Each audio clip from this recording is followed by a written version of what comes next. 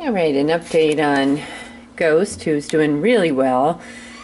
Uh, less and less frightened, a little bit of talking, more interacting, less hiding.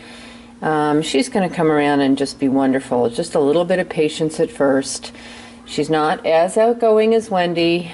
Um, oh, hold on, we got a visitor there.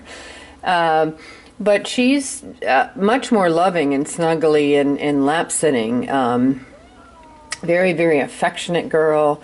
She's okay with other cats, but I wouldn't put her with a bully cat. She needs a friendly, laid back, easygoing male cat. Um, very, very sweet, supremely snuggly. I keep saying that, but will sit and lap sit forever and ever. Um, and she's she's coming around, and she's gonna. She she is a cat that will just need an adopter who can wait a couple of weeks work with her for a couple of weeks and allow her to blossom. Um, and then you're going to get a lovely, lovely, very bonded to you, very affectionate kitty. Great in all habits, health is good, um, lovely purr, very, very nice, nice gal.